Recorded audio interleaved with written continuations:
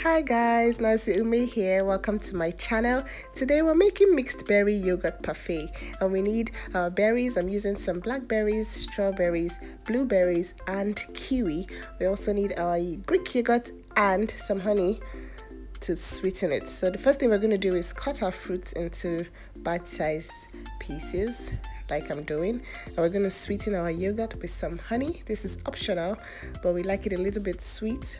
Uh, we're just going to mix it not too much you know so you can get that you know swell thing going on. And get your clean glasses and just layer up. We're starting with our yogurt and then our fruits going next um, these fruits are very colorful and very very nutritious i must add that they're very expensive in nigeria so this is for my friends on YouTube that are that have access to these fruits and you know that are quite affordable.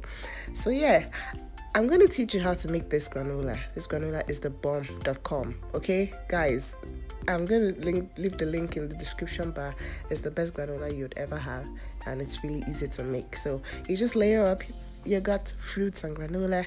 Just repeat the same process all over again. This is so easy and it makes for the very perfect breakfast. Like you could just grab this, you know, on the go, and it's so colorful. The kids actually love it, although the blueberries and kiwi can be a little bit sour. But yeah, it's really, really nutritious, very high up there in the vitamin C content. And really good for colds. If you're trying to fight cold, especially for your kids that have come down with the flu, this is the perfect breakfast for them. Okay, make sure you try it and let me know how it went.